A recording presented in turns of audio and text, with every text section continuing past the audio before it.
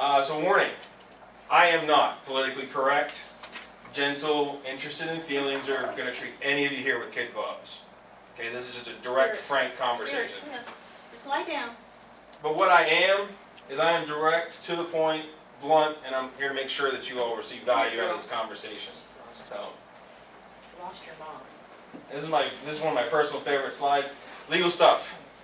Because lawyers got way too much free time on their hands. So this is nothing that's guaranteed to save your life. Straight up. This will be, this will not be a magic bullet that's gonna ensure anything for anybody under any circumstances. This is simply a series of thoughts to get you thinking about what you, about what you need for your unique circumstances. You're gonna need to determine how or what and, or even who is needed in your unique circumstances. And I'm definitely not gonna tell you if you should or should not use physical force of any kind in any situation. That's between you, your God, and the law. Okay, that's entirely, that's up to you guys. We'll discuss that more later. So the intentions today, this is not gonna be a lecture or a seminar, even though we're getting some of this administrative stuff out of the way at the beginning. Is- Or a class or just a speech from me. In fact, I'm gonna feel real stupid if it is. Uh, this is a conversation, it's a, a dialogue about a get-home bag and our unique circumstances, because Texas is unique, we all know that. And our, everywhere everybody lives is unique. And we'll get into the fact that if you live in New York, you've got one set of requirements, if you live in Maine, you got another, but in Texas, you got a whole other set of requirements, or even in Florida. So we'll talk about that as well later. So first of all, let's talk about why we're doing this. We're all doing this to be prepared for emergencies of some kind. So these are some of the self-defined reasons that people prepare. So personally, I, mine's the EMP thing, okay?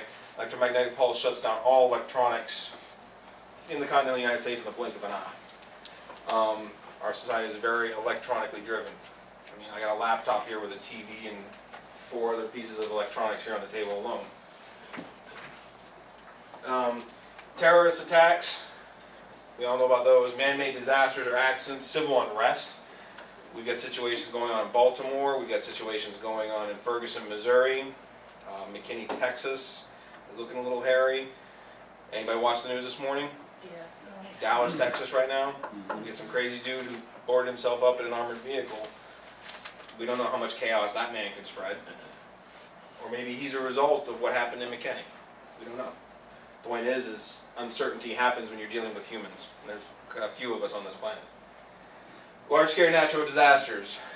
Earthquakes, San Madrid Fault, and super volcanoes are the ones I hear most people talk about. Um, honestly, I don't know much about any of them. But, uh, yeah. Zombie apocalypse. FEMA says that this is real, apparently. so FEMA has actually a commercial which says, "Be prepared in the event of a zombie apocalypse." It's just a thing about being prepared. Have yourself ready to go. You know, don't be sitting there living on the groceries you brought home from McDonald's that night. And when this stuff hits the fan event, or SHTF, as we may commonly know, other situations. Anybody have any other situations they want to throw out on this one that they want to contribute for other people? Or did I cover most of the usual suspects? Well, when you're talking about your national, your, uh, national disasters, you're talking about hurricane here. Fair enough. Hurricane and floods. Mm-hmm, mm-hmm. I mean, we had some rain the last few months. Yeah, like a whole month, Mm -hmm. you know. And then if you have your earthquake, I mean, your hurricane, which happened with uh, Katrina, and you got the whole flood of people coming your way. Right. And that can also point into civil unrest, because if they start protesting for whatever reason, you know, their welfare checks or their FEMA grants or food stamp, whatever. I We're mean, plenty close enough to Houston. I had, fr- I had friends in Baton Rouge that when, when, um, that happened in New Orleans, within, within eighteen hours, they had people breaking in, in Baton Rouge.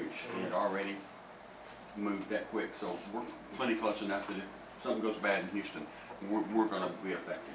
Right. Exactly. Right. A great example. Houston, we're almost considered the greater Houston area, It's too big, it's gonna, you know? it's gonna be here overnight. And, right, eventually what affects Houston will eventually get here. It may just take an extra day. Remember what happened with Ike? You know, we were the only area here that had electricity for weeks. Mm-hmm. And people were coming in here to buy the groceries and everything, and we're wiping out our, Right. our supplies too. So it may not even be an emergency in your area. Right. It may be an emergency in f- a few hours away that actually is sucking the resources out of this area. And these are all great. I mean, these are very direct events. These are things that happen to you or your community directly.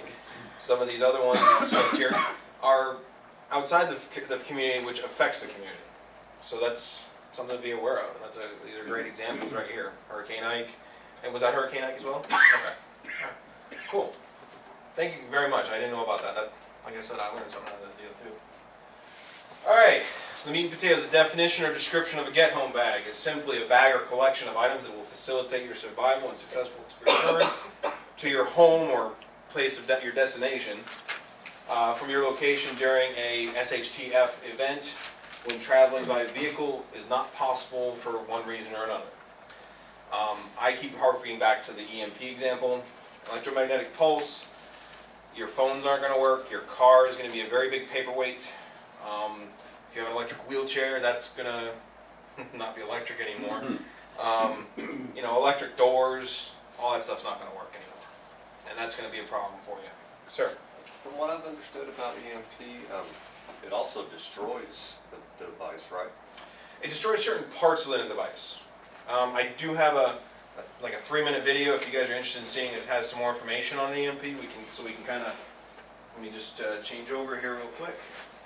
I've come to White Sands Missile Range to see for myself what an EMP attack might actually do. This device creates the same electromagnetic pulse that's given off by a nuclear blast. The pulse doesn't affect people, only electronics. But just to be on the safe side, Russ and I retreat to a safe distance.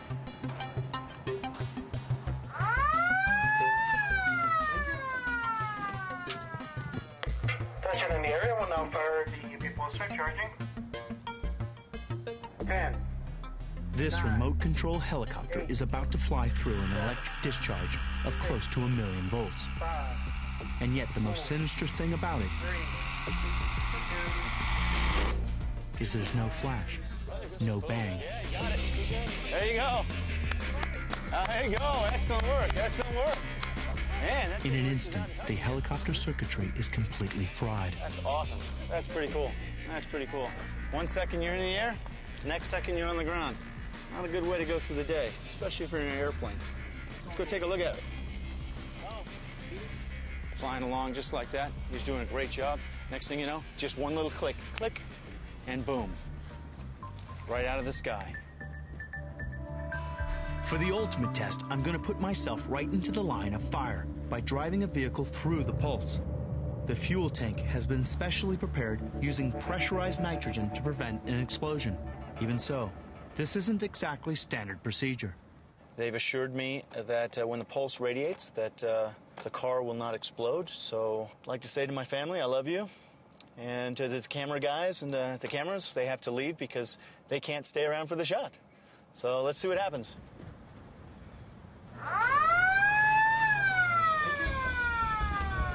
Attention in the area will now fire the EMP pulsar charging.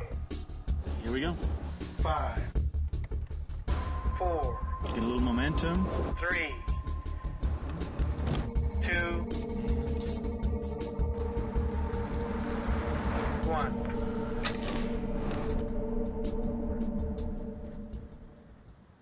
I'm still alive. Uh, the car isn't. The car is officially dead. I heard the click of the switch. The pulse came through, uh, fried out the uh, electronics uh, as far as the uh, starter switch. But there's still battery power. That's why the windows still work. They run basically very simply. You've got some lights on the dash, but when you try to go to the ignition, nothing really there. It just dies. Traveling at the speed of light, an EMP attack would strike everything directly in its line of sight. The higher the altitude, the greater the devastation. At 30 miles above the United States, the device would affect up to half a dozen states. But at 300 miles, the whole continent of North America would be brought to an irreversible standstill. Theoretically, old style tractors and things like that would still run. Yes, and that old Old- style old vehicles cars. with like the points distribute, the points Right, firing with systems. points. Um, as long as it's not computer reliant. There are some facilities and some people online that'll tell you you can buy a new computer for your car, keep it in a Faraday cage, lo- bury it underground or what have you, and then as soon as it happens, you just plug and play again. And I do I don't know if that would work. I'm not going to try and tell you it will or won't. Yeah. But, But if you have an older car, you can't get gas for it unless you have gas that's true. cans. true, but the pumps in the gas stations can be turned manually. I didn't know You can actually access the panel below the counter and everything, pull that out. There's actually a manual, you can do a manual crank on those. Not that I'm gonna tell anybody how to steal gas. There's gonna be gas cans everywhere you look too, Yeah. you know. Yeah, we got a few. Plus, yeah, exactly, You know, cars, Over. Are gas cans. Yeah. okay, someone next door to you may only have the latest Toyota Prius. So all you need is a hose. All you Yeah. need is a siphon, you know?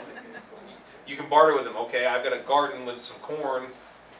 Maybe they need corn, they don't need gas. You know, so in the Depre- Great Depression, there was examples of people trading a bag of potatoes for an entire car. So, Well, I believe that will happen, bartering. yeah, bartering's gonna be a great thing to look at Yes. in that situation. Mhm. So the get home bag is, these are some basics that it's gonna provide. Okay, uh, it's gonna provide you food, water, safety, shelter, defenses, and, um, other things. There's no cookie cutter example that I can give you that's gonna solve all your problems. So you may have to add or subtract from this assemble, assembly as necessary. Um, anybody got any other examples of stuff that they might wanna, like a general category type deal, or something that might be important? Something medical in there, Yeah, medicine. I medicine. would. Okay, Yeah, Okay, so that might be safety, yeah. stuff, you probably need to have them.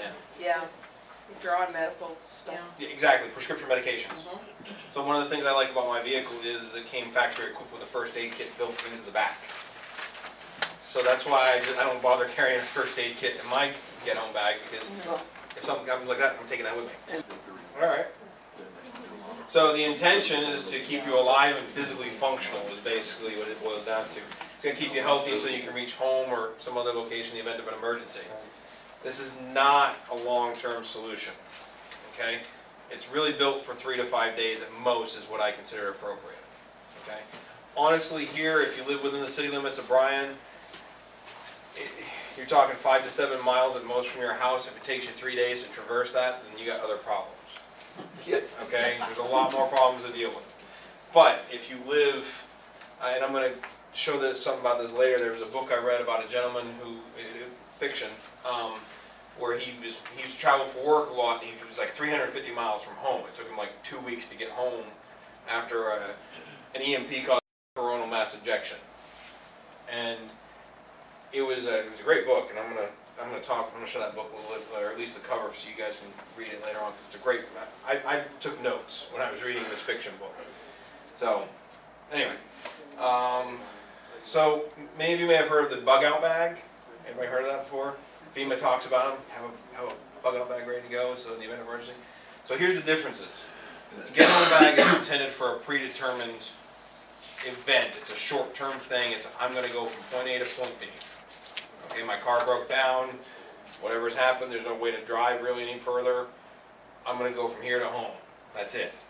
A bug out bag is intended for a more long-term evacuation.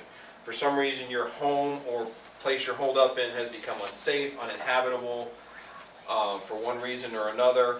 Um, you're grabbing and leaving. You're not coming home any- anytime soon. Okay, this is a long-term get out of Dodge thing. I personally don't like the idea of a bug out bag. I like having things ready to go if I have to go back. I don't like the idea of bugging out. Because if you think about it, you've got all your infrastructure, you've got all your preparations, you've got all your food, medicines, uh, what, clothing, armory. armory, thank you. You have all that. I mean, someone who has 25, 30,000 rounds of ammunition, you're not picking that up, throwing it in a backpack and running. And even if you get a vehicle, how far is that gonna get you? So, now I'm gonna get into a principle that some of you may never have heard of before. Uh, in talking with some of the people when I was preparing for this, uh, they really thought this was an amazing principle. And I do believe pictures mean more than a thousand words, so you'll see a few cool pictures, and you're even gonna see a video on that. Uh, this is called the gray man principle. And I'm not gonna try and read all this. It is in your flyer. It's over a series of multiple slides. I'm just gonna read a few of the key bullet points, which is, these are the bold ones, okay? The gray man is always invisible in plain sight. Okay, blended into the surroundings. this is different in different areas. In New York, God help you, maybe you have to dress like a like a preppy liberal. Down here in Texas, running around in camouflage is kind of like saying, okay, it's Tuesday. Okay? In New York, you run around in camouflage, you're either hunting, you're in the army, or you're dangerous. Mm-hmm. I'm speaking from experience on that. one. Running around in camouflage down here, No big deal. who cares? I got I come off a hunt off a hunt trip, had to stop at Walmart to get some, you know, groceries on the way home. All I did was lock my gun in the car because it was I had an open holster, and I was wearing the camo I was wearing into Walmart. No one We got a cared. compliment on the camo too. Uh, No one cared. No one cared. Probably did get a compliment. So, so the gray man never draws attention to himself by word, dress, actions, or mannerisms. We're going to go into more of some what that means, but military refers to this term as OPSEC, operational security. You don't tell. I mean, we all have neighbors, right? You don't let your neighbors know that you're building a nuclear bunker underneath your house to survive the zombie apocalypse, and then the zombies show up and you wonder why you're kicking your door in. Okay, that's just a blunt way of putting that one. So, then it boils down to the gray man is a private man about stuff like this. Okay? You want to be friends with your neighbor, be friends with your neighbors, fine, okay, let's talk about the neighbor down the street who never cuts his lawn. Let's talk about the obnoxious kid who lives across the street and got the loud, obnoxious truck that runs down the street drag racing at 2 in the morning. You're not telling them about how many guns and ammo you got. I've got a get home bag in my truck that I can survive six days if I have to get home with. I got this, that, and the other thing in the back room here. You don't tell them that kind of thing. We'll go, again, we'll go more into that in a minute too. But that whole thing, I, literally copy and paste that from the website because I love the way it speaks. It speaks about not having the, the loud, obnoxious truck doing drag racing at 2 in the morning. We're in Texas, you're going to drive a truck. Okay? A Prius, if you live in New York, you drive a Prius. Blend in with people. If you're in San Francisco or where was it, Long Beach, mm-hmm. you drive a Prius to blend in. Okay? But you have a truck still. So, because you need to beat something, you know, you need something that can take a beating. Or worse. So, or worse, I think I heard. Yep. So, the gray man principle, to me, is the most important rule for staying alive. Okay? You can, if, if you can just walk through a crowd of people and people not even consider you as important, that's probably the best option you've got. Honestly, this young lady right here probably has, has that skill perfect. Because no one in here is gonna sit there and say, this young lady here is a threat to us. No one's gonna think she's prepared out of the wazoo to survive the zombie apocalypse. They're just gonna think this is a, this is a nice little old lady who's, you know, reminds me of my grandma. You know, I'm not gonna think her a threat. She pulls a gun on me, oh, shoot. I'm screwed. So, that's the kind of example that, um, I'll leave, I'll give you it. Blending in, again, like we've talked about, this changes based upon where you're at. Blending in in Texas looks different from New York, from Maine, from Wisconsin, Minnesota. So, you just gotta do it for the area. Start now. Operational security, you're not telling your neighbors and your, your I mean, friends, you know, that you're gonna rely upon in an event like that, that's one thing. But your next door neighbor, unless you're gonna rely upon him in an event like that, and you're gonna expect backup from him, he's gonna expect backup from you, it might be best just to leave him off the distribution list of that email. So. And then obviously when the stuff hits the fan, it's too late, okay? If you're, they got that new Walmart over twenty-eight eighteen, so if you're in there and there's a guy who lives on Jaguar right there, and you're talking to him about how many guns you've got, that little stretch of Jaguar is a rough neighborhood. Okay? You don't want to advertise to him, I got 27 rifles, I got 14 handguns, and I got enough ammunition to feed all of them until the end of time. Because guess who he's coming for first? That's just plain simple. It's okay, that's when you thin the herd out. True, that's when you line the zombies up and get rid of them all. But You laugh, I, man, I got my, I make both my neighborhood, y'all need to start saving stuff. mhm. That's the first place I'm going shopping. And if you have, if you have neighbors that you can rely on, and you can say, start saving stuff and preparing stuff, that's great. But if you've got neighbors, some neighbors will think you're completely crazy. Some neighbors will think that, oh, this guy's smart, he's the only one smart in the neighborhood. I've had a lot of people think that I'm really strange. Because I do a lot of canning. I'm one of them. Yes, he is. Well, we know you are. Well, Jake is strange all around anyway, so. So the gray man principle, standing out is bad. And these pictures here, like I said, are pictures worth more than a thousand words. So you get the pile of black rocks and the one white rock right there. Okay? I had a drill sergeant in the army used to say, I stick out like a brother at a clan meeting. And this dude, he was a black guy. So his point was this sore thumb right there. Um, and then obviously you have the one fox in the group of beagles. So he's blending in. That fox is like, I'm just going with the herd and don't nobody see him here. Unless it's pointed out usually. Because I'll admit that picture right there, took me a minute to be like, what's so important? Oh! Where's the dog? No. Anyway. Um, so now we're gonna watch a video.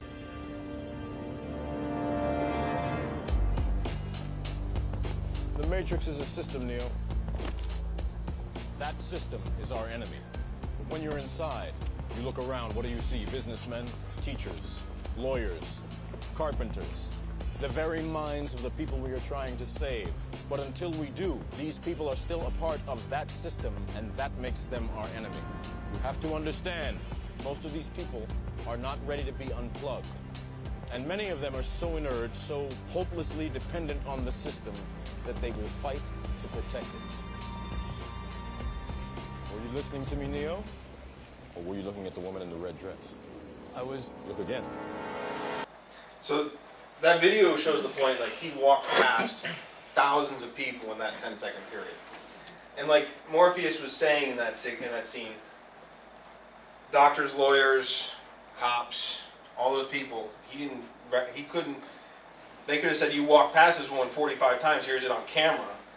But if he didn't notice, he, I didn't notice I walked past her 45 times. But the woman in the red dress, he's gonna be like, okay, she's blonde, she's this tall, she got, you know, her dress, a little frilly thing here, you know. He can see details about her because she stood out. And then ultimately, she stood out and she turned out to be a threat. So, um, so that's an example of almost a gray man in reverse principle because you're standing out to draw the attention to be a threat to that person. But um, so that's a, but that's an example of where blending into the crowd. Keanu Reeves, Morpheus didn't know anything about any of those people that walked by because they all were the same thing. They all blended in. So, questions thus far on the gray man principle? No. Okay. So this is these are the words actually that Morpheus said. I'm not going to read the whole thing. They're on a slide there for you too. Um, but it talks about how people are dependent upon the system because people become a part of it. Okay. And we're all part of the system whether we want to be or not. And being part of that system, you can you're no longer perceived as a threat by the system. Y'all remember in the movie The Matrix where as soon as Neo's mind became unplugged from the Matrix, the machine grabbed a hold of him and was like, huh? And then unplugged him and flushed him out of the system. He was a new variable in the system that it didn't want there. And it got rid of him. So what's going to happen if you stand out as away from the system, when the system has a problem, it's going to go for what's different. When I first moved into my house and I was speaking to my neighbors, my intention was to determine are these guys Kool-Aid drinkers? Are they uh, the kind that is going to be more of a threat to me than anything else when problems occur? Or is this someone that I know that if, you know, if I know the chips are down, I can put my back to theirs and I know I don't have to worry about anything coming from that direction unless they're dead. You know, that kind of thing. And you got to kind of feel out where that person stands. And that's your own judgment call on that. I'm not saying to isolate yourselves from everybody else on planet Earth. Please don't take it that way. I when I'm speaking about blending in and not bringing people into the. I'm talking about certain aspects. Okay, it's almost like you have to treat this as a separate part of your life because we all we prepare for emergencies, but God, I hope none of them happen. Okay, I'll be the first person to tell you, yeah, I'm preparing for. I prepare for an EMP to occur. But God help me, I do not want that to happen. So, planning to build a get home bag. So you're sitting there, every every every journey takes a first step. But before you can take that first step, you have to plan how to get there, right? So, travel. So, like I said, it's a predefined distance and event. So, where are you statistically going to be, and where are you trying to get to? So, statistically speaking, if an event occurs, we're probably all gonna be at work. Okay? We are the forty, we are the forty-seven percent, right? So we're all gonna be at work statistically speaking, and we're trying to get home. Good, someone new. So you have to look at this trip, you have to map it out. Google Maps is a beautiful thing, okay? Um, you have to look, are there predetermined problem areas in there? Maybe you have to travel, okay, I live here, I work here, and I know there's twenty-five different roads I can take to get home. Are there ones where there's a rough neighborhood? Maybe there's gang territory? So the Latin Kings and MS-13 have people in every single state. They say they've got fifty thousand people in every single state. So, something to think about. Um, I know certain parts in this city, there are rough neighborhoods. People who look like me don't wanna walk in there. On the other side, there are parts where people who, you know, black people are not gonna try and walk, especially at night. You know, so you gotta take that into consideration. Um, predetermined caches, so, like, let's say you live, or you work in downtown Bryan, but you live twenty-five miles outside of Bryan. Maybe you have to put resupply points in safe spots throughout the location, so, okay, I know that if I can get to this storage facility where I have this itty bitty closet, maybe it's a five by five, you pay twenty dollars a month for, and I can get inside, you know, getting inside the gate even if the power's out, that's not exactly difficult. Then you just, you know, cut, put a pair of bolt cutters in your thing or your keys or whatever, you break the lock, get into your storage unit, okay. I know I can close this door, board it up a little bit, I can I can stay in this storage unit overnight and resupply, and then I can continue my traveling back home. Maybe you do something like that. Maybe you have a relative who lives between your work and your home, and you put two or three backpacks, or you put a resupply point there, and you know you can stay there for a day. Something to get out of the, get out of the line of sight of, okay, there's some rough stuff going on over here, I'm gonna go hide here for a couple of days. Stuff like that. Um, so that's something you need to consider. Um, environmental concerns, naturally occurring and non-naturally occurring. So, um, maybe you know that you have to cross a, maybe there's a, a bridge over a big river. Actually, there is on the way to your place, isn't there? Or you No. have to? No. So maybe you have to cross the Brazos River, okay? There's only so many locations where there's a bridge going across the Brazos River, right? So statistically speaking, those are choke points. That's a place waiting to get ambushed, okay? So maybe you have to consider, okay, that one there is too close to too many people. Maybe I go further south and grab that one. Okay, it may take me an extra day to get home, but statistically speaking, I'm gonna avoid rougher areas, the possibility of ambush, etc. Or maybe you opt for finding a shallow spot on the Brazos River where you just put on, maybe you get some, you know, mud boots and you just kind of dredge across it and, you know. Of course, obviously, if it's flooding like it has been, you're not gonna try and do that. So, maybe that's the kind of thing. Or you pack waterproof bags and you swim across.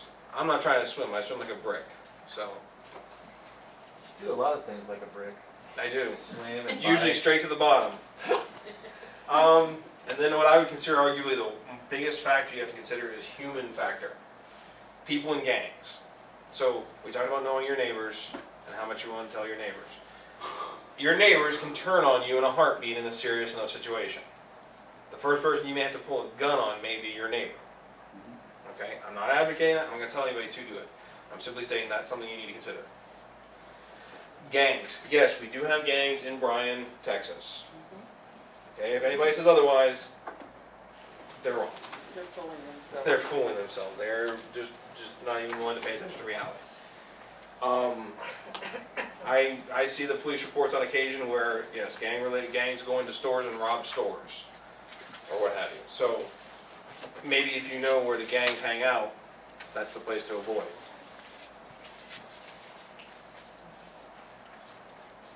So, this is an example of a route home, okay? This is not where I work, this is not where I live. 300 Texas Avenue is actually the, the city hall of Bryan. And down here is the Wells Fargo Bank over by that 2818 Walmart. I picked it because, as you can see, there's like three or four different routes that Google Map gives you. Okay? You could even go take up Texas and go to 21 and take it down to 2818 if you wanted to. Point is, is there's ways to get home. but at the same time, there are areas to consider. Um, I've never been out on, was it Grouse, Grouseback? Groesbeck. Grouse- Grousbeck? I've never been out on that road, I don't know what that looks like. If I'm driving, if I'm trying to get, if that, that's my work and that's my home, I'm not gonna try walking Grouseback, cause I've never been on it. I'll take a longer route because I know that route. Or maybe I know that one, one route is safer. Maybe I take Finfeather down to Turkey Creek and cut across twenty-eight eighteen. Bad idea, no, they don't. Maybe, I'm just, I'm just using that as an example. So, I'm just gonna go ahead and X that one out for you right there. Don't do that one. Yeah, You're gonna want to go 2018. yeah, I wouldn't do Groesbeck either. Yeah. so my point is, is there's a bunch of different options that are available. You're gonna want to walk east to the north. Just go around City of Bryan. Let's go back to One College way's all mostly commercial, you know? Yeah. And actually, commercial can be a good thing, Yeah, because there's not gonna, people go there and they'll loot it first, but, but also there's not gonna be many people there. Yeah. yeah, the first thing in a disaster, people aren't gonna be, let's go get food, it's, let's go get free stuff. Well, and that, and also, in, in my opinion, in a disaster where you're saying, I gotta pull my get-home bag out of my trunk, um, the first seventy-two hours is, in my opinion, the most crucial. Because what's gonna happen is, is people aren't gonna be looting the, like, oh, EMP, go loot. People aren't gonna do that. People are gonna sit, people are gonna sit at home and be like, oh, this sucks, I can't play PlayStation. Well, they're gonna be, For the first power day or come so. back on. My Yes, that's my point. working. Yeah, Yeah, exactly. But people aren't gonna. Most people are not gonna say, "Oh, an EMP just happened."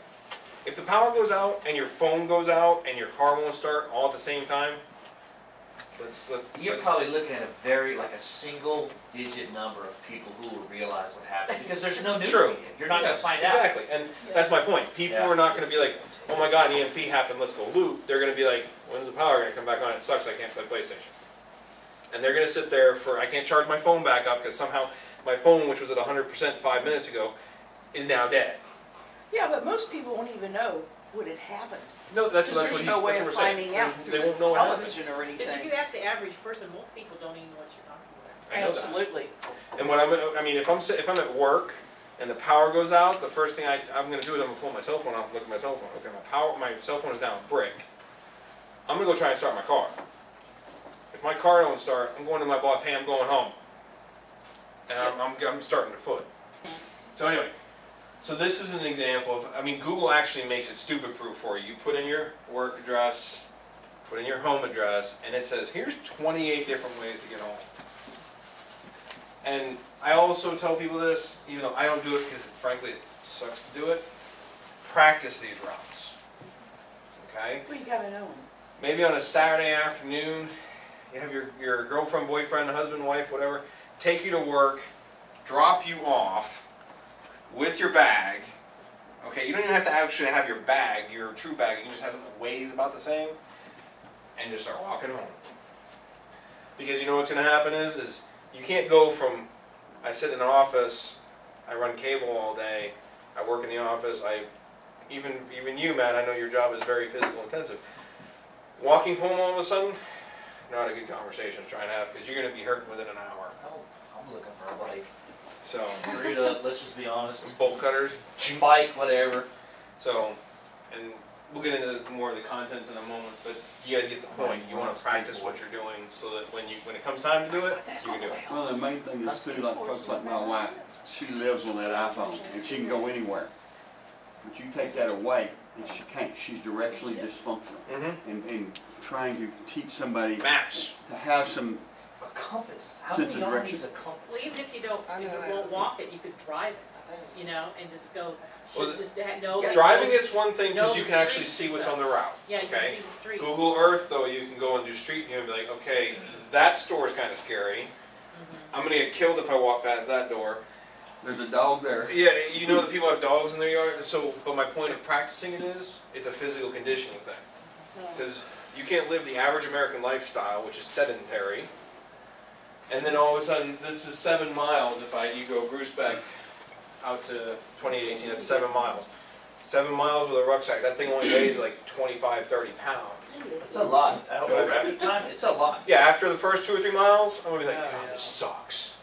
Yeah. So, I mean, I don't carry bags a lot, and I go flounder digging a lot, and we'll just put a car battery, you know, in a backpack, and we'll just do it for an hour. And it, after an hour, I mean, I'm in decent shape, it, I'm dead. for the next day. And a car Uh, battery weighs yeah. what, 15, 20 pounds? Yeah, I mean, we don't even use car batteries. We use a little uh, lawnmower batteries. But after an hour of doing that, you know, it hurts your And shoulders. the average and the average human on uneven terrain can traverse approximately two miles an hour. Yeah. So theoretically, at seven miles, it should take me approximately traveling this route to do four hours, five hours maybe. If I'm carrying this pack, it's going to be something more along the lines of 10 to 12. So, yes.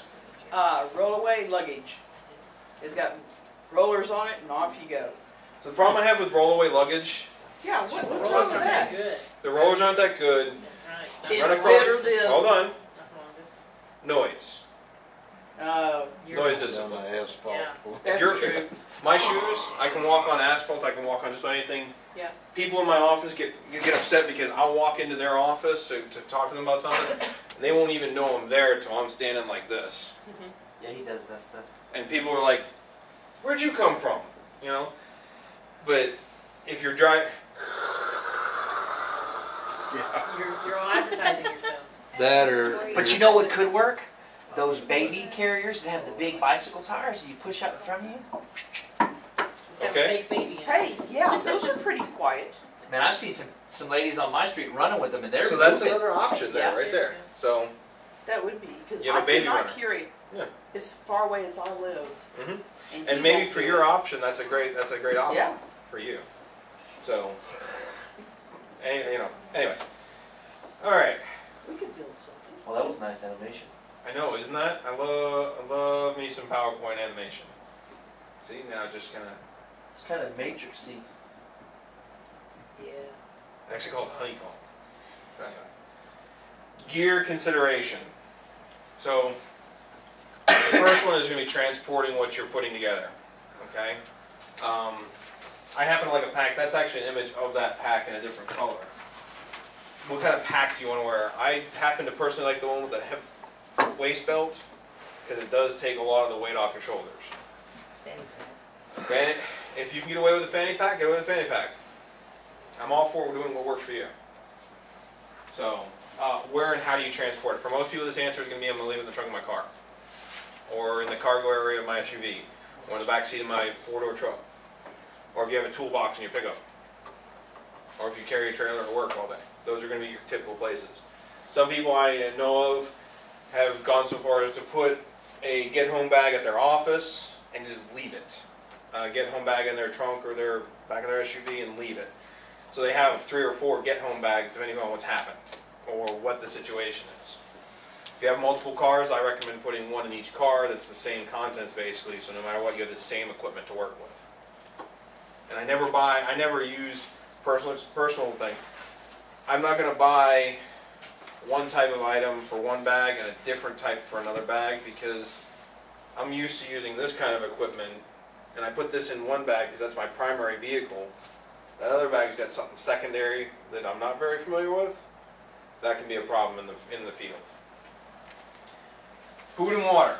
Um, heat, weight, and preparation considerations. So, weight is an obvious answer. You're gonna have to carry this crap.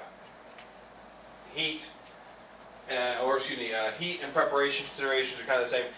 If you have to break out a stove to start a fire to cook something, what does that do? Adds weight. Adds weight, Draws attention. time, and it draws attention. Because nothing says come get me like the smell of something cooking over an open fire. Okay, because fires don't normally just randomly occur, they have to have something to start them. Peanut butter. Peanut, actually peanut They butter, got little individual things. and, and peanut butter, but the butter. peanut butter has a very strong smell. Yeah, that's true. So unless you're just basically, like you can put it in a tube and squirt it in your mouth, I, I tend to stay away from peanut butter personally because of that. Mm-hmm. Because peanut butter, you can smell that thing for miles, it seems like. You could smell peanut butter for miles. It seems like it. Oh, oh. damn, you got a good nose. I mean, but you can like, like honestly, if I leave the jar open of peanut butter, within a few minutes, I'm sitting in the living room about 30, 40 feet away, I'm like, can I leave the jar off the, the lid off the peanut butter? You must Is put a macaw in your previous life. Cucumber. I was like, I gotta get my nose shut. My 'Cause I smell that stuff, I'm like, You open ooh. it up, he knows you, op- as soon as you open it up, he knows you, you have it open. Yeah, my dog hears the shh, and My she bird comes. does. My bird does. You So, open it up, he starts talking. So. Um, let's see, what, where were we? Uh, nutritional slash energy requirements. typical person in, eats something like some stupid number of calories a day. I actually looked it up at one point and I've forgotten the number right this minute. But the human body only needs something like 2,200 to 2,800 to function on a, just a, on a normal daily operation. In our society, we have plenty of those. So the average person actually probably eats closer to double that in a day, especially if you go to like McDonald's or some of these fast food places. Um, but when you're doing this kind of activity, your caloric requirements are going to go up significantly. Okay? Um, I have had friends who have suggested vitamin supplements. Okay, oh, that's all well and good. I like to have food that actually tastes, which I actually think these taste pretty good myself, these MREs. Um, because there's a morale aspect to it. Okay? If you're in the field and you're trying to get home, the morale aspect of wow, I just ate something that felt pretty good can do a lot. Rather than you know, this tasted great. You know, I feel better because I ate something which is you know filling, tasted good.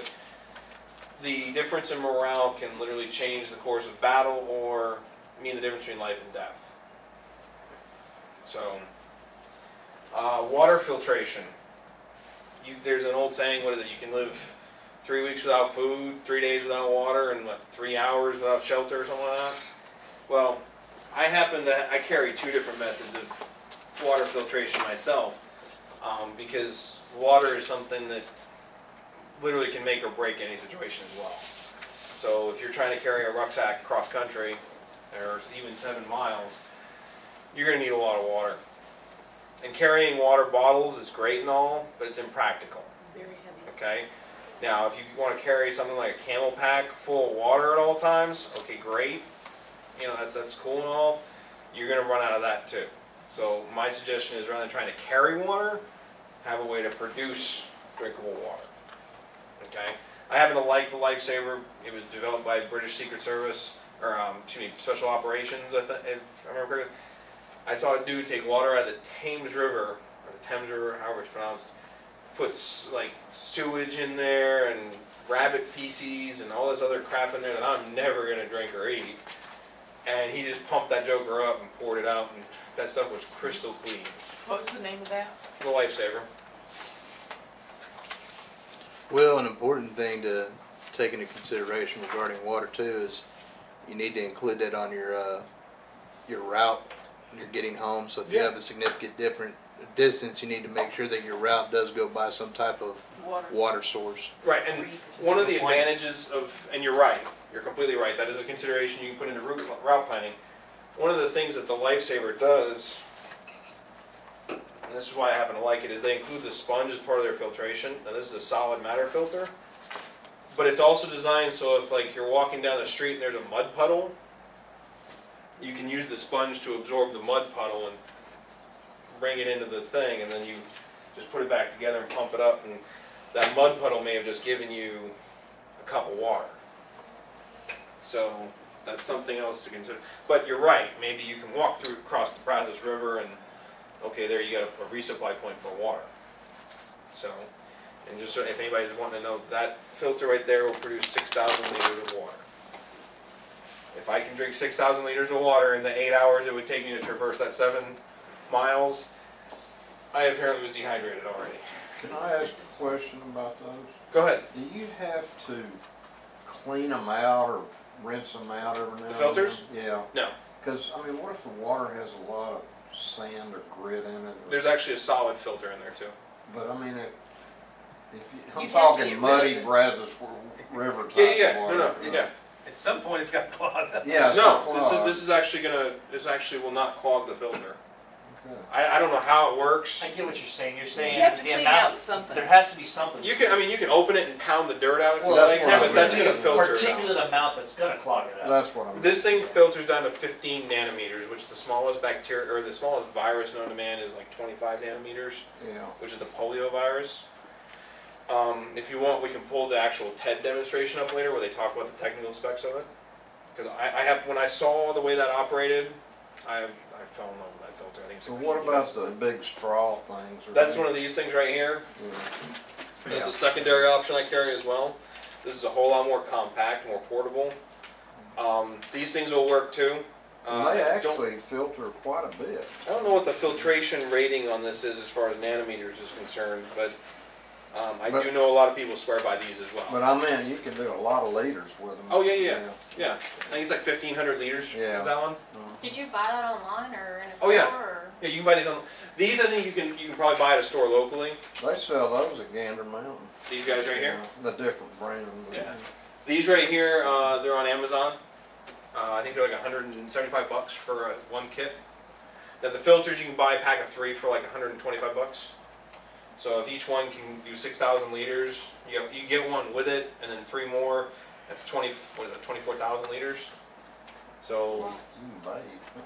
what's that? So you can bathe with that. I know, right? 24,000 liters. Uh, a liter and a quarter close, they're not exact, so divide that by four, that's 6,000 gallons. The average human needs one gallon of water per day. So Yeah, that one there is going for one forty nine ninety five right now. I haven't the gone 6,000 liter one? Yeah. Okay, so they've come down a little in price. Even better, you can buy more. So See, we could use that, yeah, all of those. you could use one of those and, and take care, a family of four, that's 15,000, you can do 1,500 liters per, per, per person. You know, if, if you divide 1,500 by four, someone do that math for me real quick, 1,500 by four. Four hundred. Fifteen by. 400. Four hundred? Four hundred close. 400 liters, so that's 400 uh, gallons per person. That's, so that's a four family of four. That's about 400 days. So it's a little over a year from one of those. So that'd be what we're chipping in the line one. 375. Okay, so 375. So you're talking just a little over a year for a family of four with one of those items. If you're just drinking from it. I'll just boil the water. Well, boiling water is something else. That, that won't always get everything out of it. This will get particulate, but we can, like I said, we can pull up the TED video later if you want. It's a great video. What about the tablets? Tablets will treat for certain bacterial organisms. They won't filter out particulate matter or chemical matter. So if someone pours arsenic in there, Oh. it won't necessarily filter that. It won't ki- kill that because the part the tablets are a uh, basically a bacterial or a Will viral Lifesaver side. filter out arsenic? Some chemicals it will. I don't know that it'll filter arsenic. I was gonna say, I ain't drinking Finfeather Lake water. I was gonna say he's gotta walk right by there, you know. Oh, I already know about that lake. So they actually only have to filter, have to You'll dredge that for like two more years or It's something like cumulative, you gotta drink it for a long time. They got a cool, like a big It'll kill the four gallon bacteria. thing too. Try to work from the No, next they three or four make, days. it's made, goes in conjunction with that to fill up like four or five gallons. Oh, actually, I've seen that. It looks like You the know, jerry it's like the green Yeah, the military green jerry gaskets. cans. Yeah.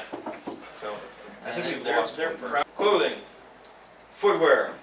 I'm gonna come back to that because it's arguably the most important thing on this slide. Yes. And socks. That's on there too. Oh, definitely. Weather-related items. Um, we have two seasons here. We have hot and we have mildly cold, and that's about it. That's it. Okay. And, and rain this year. We had a rain season. We had a rainy season. Um, if you if you think about it honestly, I mean, I don't care about walking through rain a little bit. You know, even, even the thing we had the last month and a half, I didn't. I wouldn't mind going out on that and walking for a few hours. But if you're in a place like if you're in Maine, for example, where you get 12 feet of snow, that's not hyperbole either, because they did get 10 feet of snow last year. Um, they actually were getting snow in late April. Um, you're gonna have to prepare for that.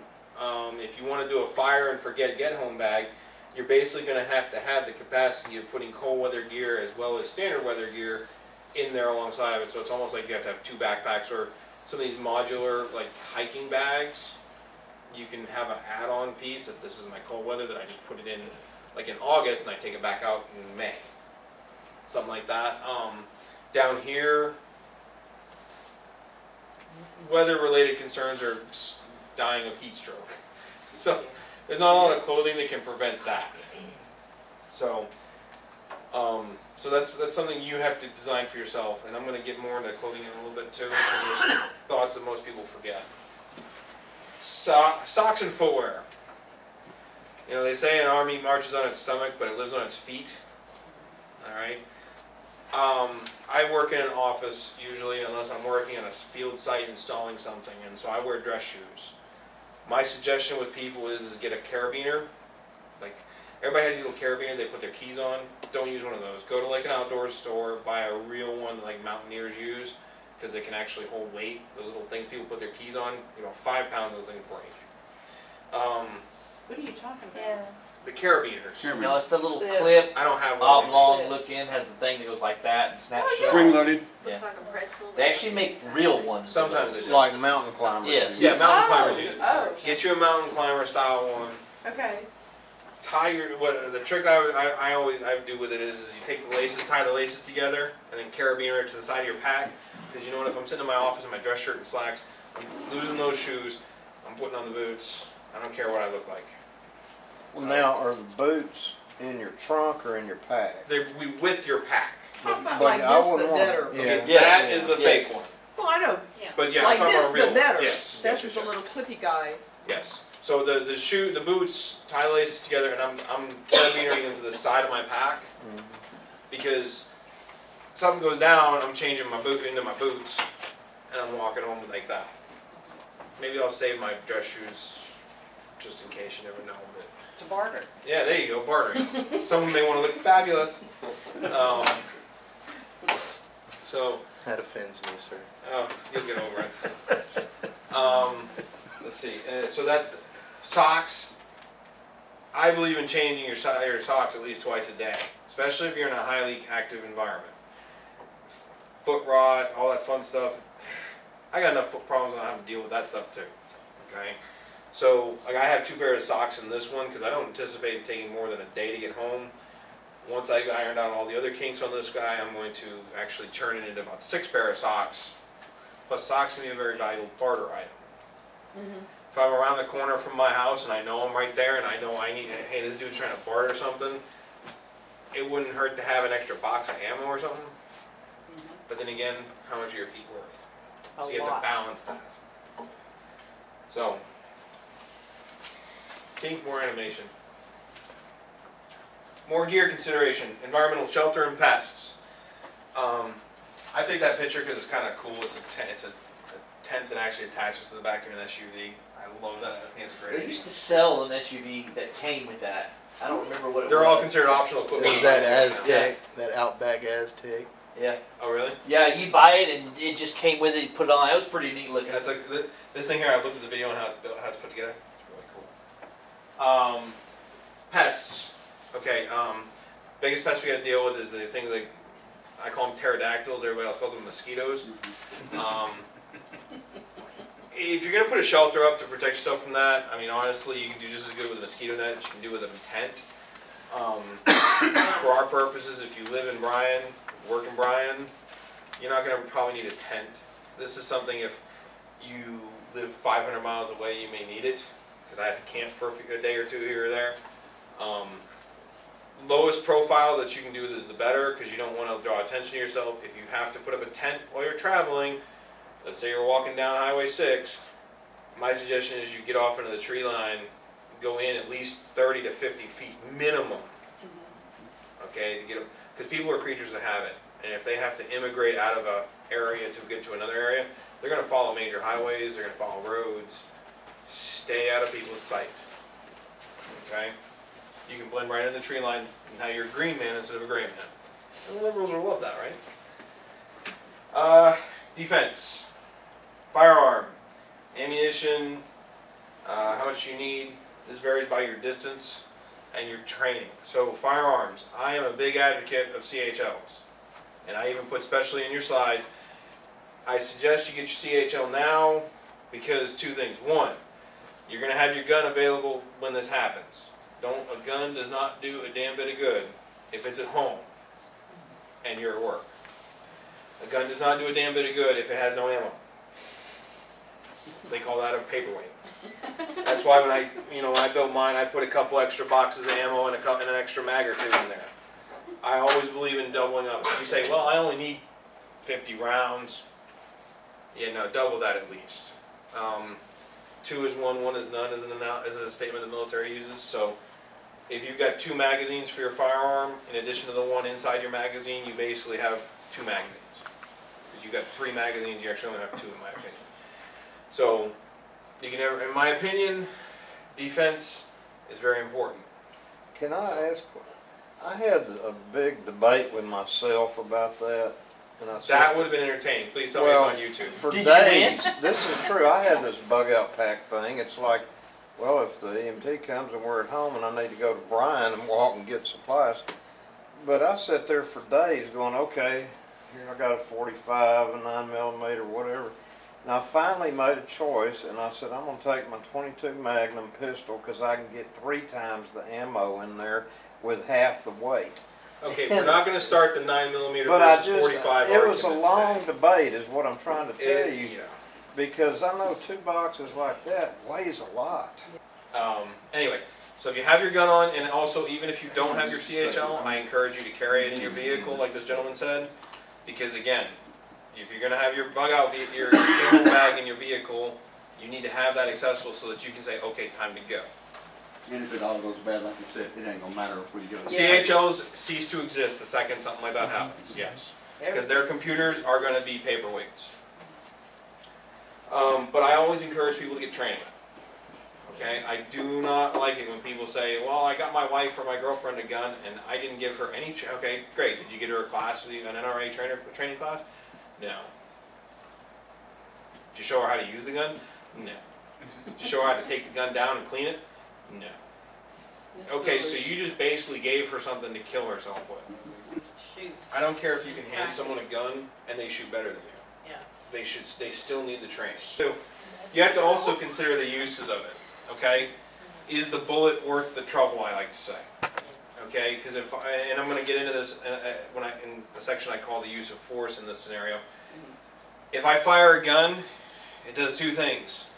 One, it depletes my, a resource, and two, it gives away my position and some of my resources to everybody. It advertises, I have a gun, I have ammo for it, I've just used it, here I am. But also, it may also say, and he will use it. Right. And we're gonna talk about that as well in a minute too, so. Uh, you can use, there are alternatives. Knives. I don't recommend knives as a weapon or defense because it takes a lot more from a person to put a knife between someone's ribs and watch the lights go out than it does to pull a, pull a trigger. You, if you, if you, if you pull and use deadly force on somebody, I always recommend don't stop. They train cops, do not stop firing until the target is neutralized. Do not stop whatever defensive action you're going to use until the target is neutralized permanently. That's my opinion. I'm not gonna tell you not to use it or to use it. Other options, clubs, mace, okay, mace, uh, stun guns. Stun guns may not work in an EMP though, it, though it is a simple electrical circuit using a nine volt battery and a capacitor with an electrical conductor, so they may work, I don't know. Um, clubs, um, I don't know if black, are blackjacks legal in Texas? Yes. The small sticks? No, I don't think the sticks are, but the batons are.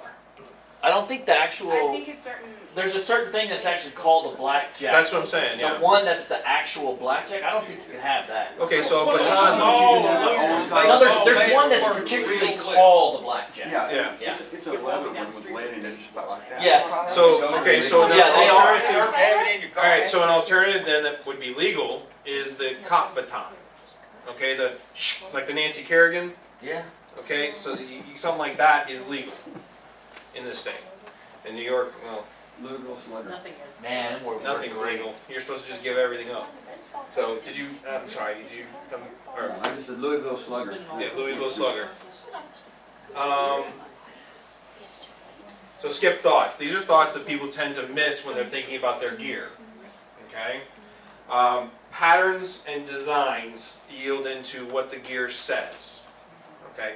Again, this changes per region. If I'm walking down the street in camouflage in New York, like I said, people are like, oh, he's a he's scary. Uh, he's going to hunt. He's going to shoot something or someone. he's going to kill people. He's a mass murderer, etc. In New York. Here in Texas, nobody cares about camouflage.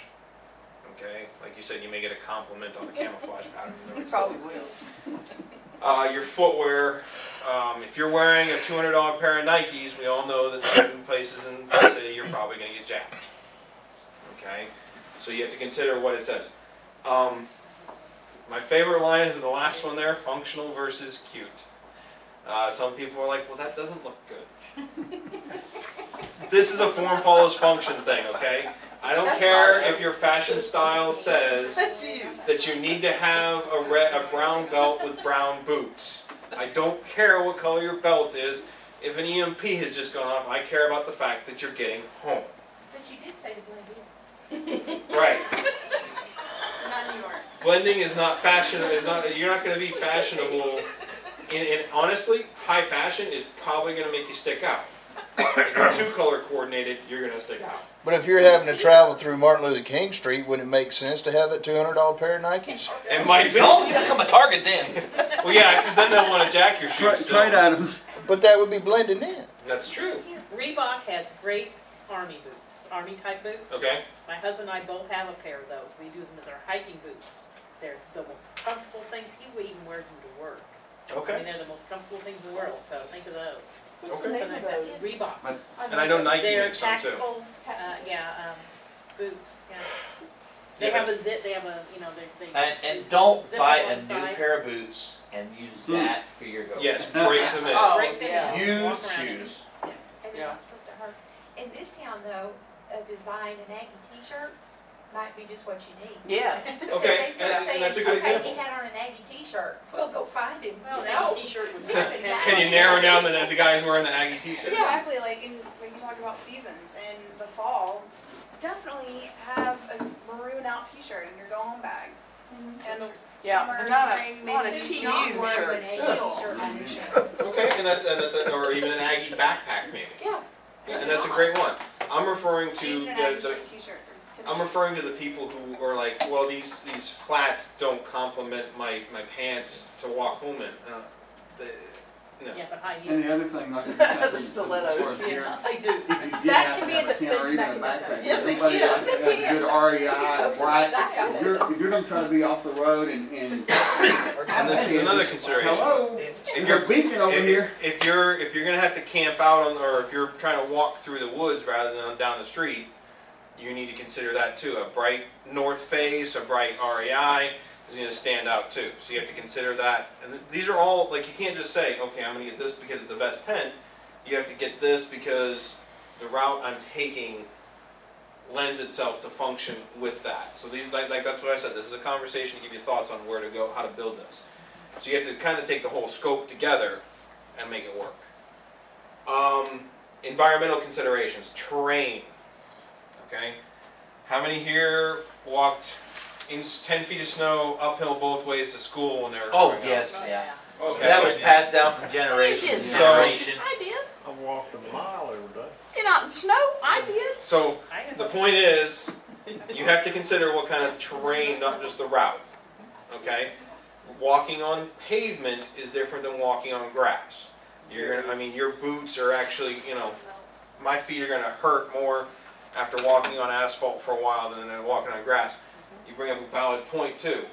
If you're walking on hot asphalt for extended periods, you can actually damage your soles on your boots. Mm-hmm. They'll melt. The other Okay. thing- the other thing is, a lot of times you think of a, a, a train track going through a rural area, it's a great way, to- but then a lot of people are scared to walk between the tracks just where the train comes. We have plenty of time to get away. Try walking along the sloped embankment in that gravel.